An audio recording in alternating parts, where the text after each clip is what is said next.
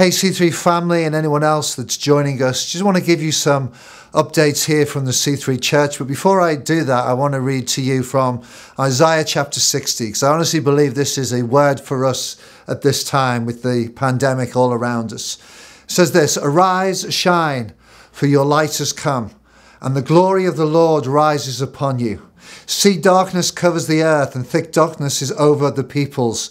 But the Lord rises upon you, and his glory appears over you. Nations will come to your light, and kings to the brightness of your dawn. Lift up your eyes and look about you. All assemble and come to you. Your sons come from afar, and your daughters are carried on the hip. Then you will look and be radiant. Your heart will throb and swell with joy. The wealth on the seas will be brought to you. To you, the riches of the nations will come. And so we can continue to read in so many ways. Uh, we know this is a crisis, but it's a crisis of opportunity. And we believe we want to shine out as a church. And we believe that for such a time as this, these aren't cliches, these are the word of God that sets us free. We can make an impact and bring hope and life to our world. In regards to here at C3, as we shared recently, we will be following government guidelines. So we're not going to be having gatherings together in our facilities or in buildings that we might hire. Everything from here on in is going online. So we're not cancelling anything. We're just going to another context. We're going online.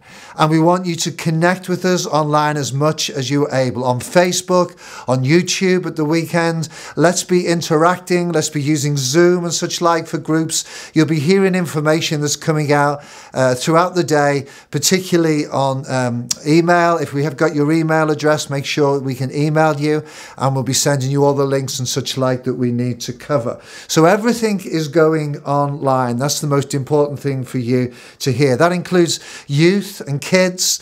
There'll be programs that are on there for them. And we'll be seeking to up the ante in this and to make some, probably from early next week, as well as our Sunday services, to have daily connection so that we can enjoy community online in that way too.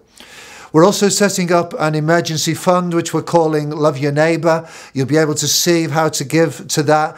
We would ask that you'd be consistent in your giving, those that are called C3 their home, because basically what we're doing over these next few days, weeks, months, who knows how long, everything is going down two lines. One is care. We want to care for our community. We say it's part of our core value to be a Christ centered community, but that we are in everything we do thinking community, community focused. So we want to care for those within our church community, but also in the wider community. Again, you'll see more in the email. How can we help people with food or emergency aid? And the giving that we'll be, be receiving in our emergency fund will go to care. And the other side is content. We want to get content out there because we haven't changed on this, guys. We're reaching and shaping a generation with the message and cause of Christ. So, how can we get content out there to comfort people, to instruct people, to disciple people.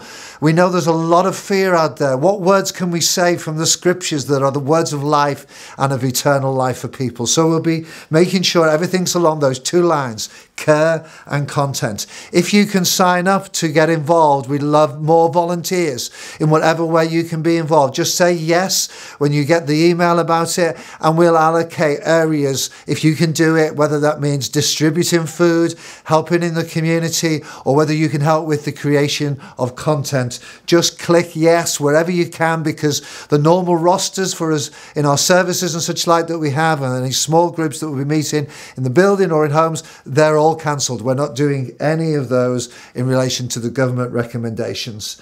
We do believe this could be a time to thrive and not just survive in all that we do. So thank you for your prayers. Let's keep praying. Let's keep washing our hands. 20 seconds of the Lord's Prayer. We want to keep praying that. We've got Jeff Lucas with us this weekend. Jeff will still be with us. And we're again pausing on the series that we're, we were on. We're going to focus on this faith over fear. Peace over panic. That's what we want to focus on at this time. We believe people need to hear. Thank you for tuning in. Thank you for passing this on. We're in this together and we're believing God that this could be our greatest hour. Not just, I don't mean ours as in three, C3, the church of Jesus Christ, the hope of the world with this gospel that we've been entrusted with. God bless you. Bye bye.